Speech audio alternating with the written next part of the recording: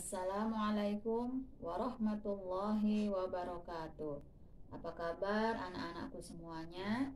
Alhamdulillah, nu'minu billah wa nuhibbul Qur'an.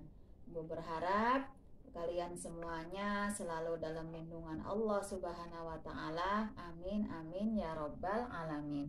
Anak-anakku yang dimuliakan Allah, eh, materi hari ini membahas tentang mat sila ya.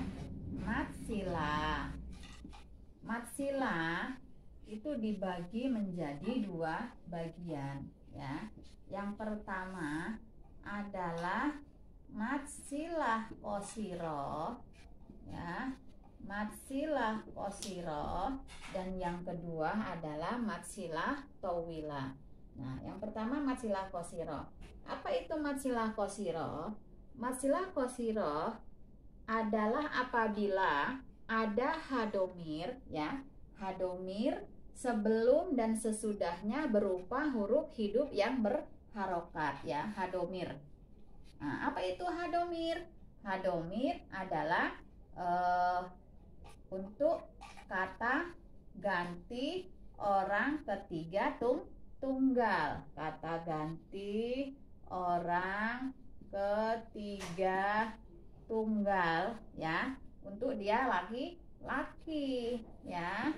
Dia laki-laki. Bunyinya adalah hu dengan hi. Artinya dia ya ibu ambil contohnya lahu nah ini hadomir lahu ma baina ya baina ada hadomir ya ini ma baina sebelum dan sesudahnya berupa huruf hidup yang berharokat ya.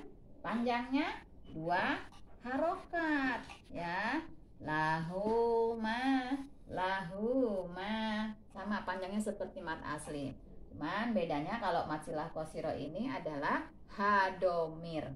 Nah selanjutnya yang kedua adalah mat silah towila ya mat silah towila apa itu mat silah towila yaitu apabila ada hadomir ya sesudahnya e, berupa huruf hamzah dalam e, dua dua kalimat. Nah, ini hampir mirip dengan mat jais munfasil. Cuman bedanya kalau mat silah tawilah itu e, e, hadomir ya.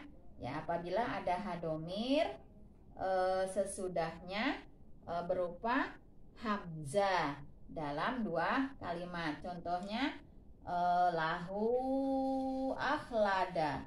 Lahu akhlada. Akhladahu. Nah ini lahu bertemu dengan hamzah. Nah biasanya ada tanda bendera ya. Lahu akhlada. Nah panjangnya panjangnya boleh dua boleh empat boleh eh enam. Tapi eh, kita memakainya eh, di torik satibia panjangnya 4 sampai 6 harokat ya. Lahu akhlada lahu akhlada nah anak-anakku yang dirahmati Allah eh, mungkin cukup sekian materi tentang matsilah mudah-mudahan apa yang ibu sampaikan bermanfaat lebih kurangnya mohon maaf. Usikum wa nafsi bittaqwallah. Wassalamualaikum warahmatullahi wabarakatuh.